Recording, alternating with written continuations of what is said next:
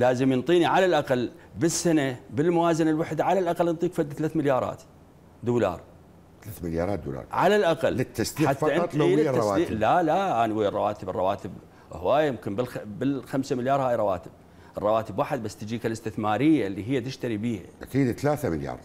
على الأقل بالسنة 3 مليار حتى تسوي لك خطة خمسية أو عشرية وكل اللي ببالك يعني هسه انت المفروض بيك عندك ألف دبابة المفروض على الأقل لأنه تدري أنت الدبابة يعني يعني الدبابة عنصر أساسي بالمعركة. هسه إحنا قبل يقول لك الدبابة شو تسوي بيها؟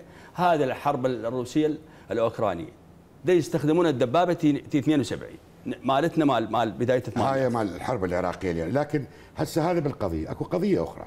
يعني سيادة البلد بالدفاع الجوي. صح. يعني أنت الآن عندك منظومة باتريوت هاي ال S 400 لا لا لا ما عندي. زين. ما عندي. عندنا آه، صواريخ يسموها قصيرة المدى. ومدافع أيضا هم نوع يعني قديم تي عندنا مدفع 23 ملم وعندنا مدفع آه، 57 هام مال القديم. وهاي بس إحنا هسه أيضا آه، عندنا مشروع مع فرنسا. نريد نجيب صاروخ مدى 150 أكو شركة اسمها إم بي دي أي. هم عندنا وياهم هسه مشروع إن شاء الله كذا. رادارات مثلا الرادارات إحنا ما عندنا ولا رادار. يعني شنو هذا البلد عايش بالقدرة ما عنده رادارات ما عنده إيه. منظومة دفاع هسه صوت. هسه إحنا- يعني هسه إحنا ياهل يجي يطب ثاني يوم لقينا مو قلت لك هي يعني هاي الحقيقة مع راح الوزير أقول لك الشغلة. أجيك النوب حتى أقرب لك ال... بعد 2003 يعني الضباط اللي مستمرين بالخدمة من كبار الضباط من الخط الأول اللي رجعوا بعدد الأصابع فقط. اثنين ثلاثة أربعة مو أكثر. يعني من ضمنهم حتى تكون منصف عبود قنبر كان من الضباط اللي مستمرين بالخدمة ورجع لواء ركن كان أصلي يعني بذاك الوقت.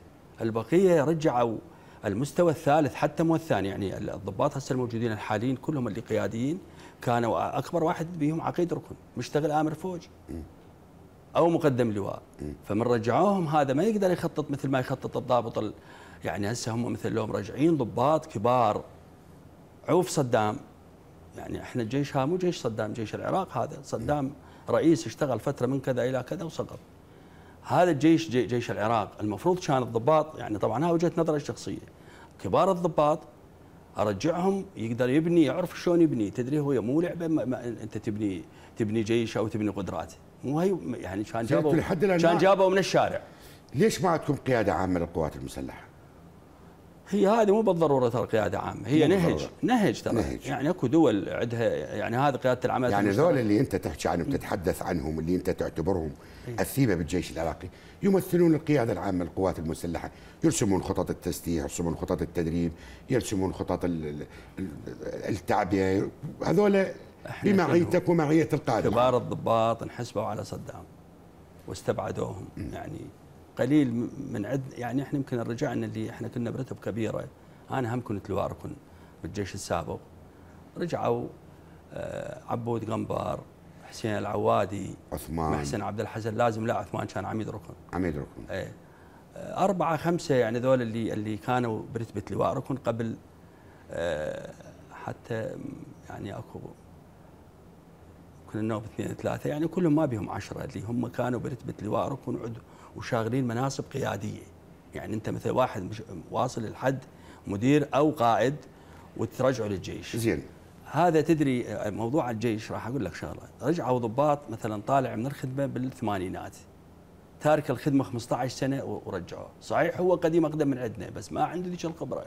يعني تدري الجيش يراد لازم تظل أنت تديم تديم نفسك يعني بثقافة عسكرية بقراءة بأجهزة بمعدات الآن إذا تقارن الجيش العراقي بمستوى دول المنطقة على أقل تقدير يعني دول الجوار. هسه شوف راح أقول لك أكو نزل تقرير قبل فترة. الجيش العراقي طبعا تقرير أمريكي مو عراقي. الجيش العراقي تسلسله صار 34 كان 57 قبل على سنتين. مستوى العالم. على مستوى العالم. وتسلسله على الج... على الوطن العربي أربعة. يعني أول جيش هو المصري ويجي وراها السعودية وراها الجزائر وراها العراق. زين. إحنا كموارد بشرية حجم الجيش زين يعني قدراتنا لا باس بها بس مو مو يعني بصراحة ما مو مستوى الطموح. مو مستوى الطموح. مو مستوى الطموح. بس أنا أقول لك إن شاء الله تتطور بس يراد همه يعني التطوير يراد لها موازنات.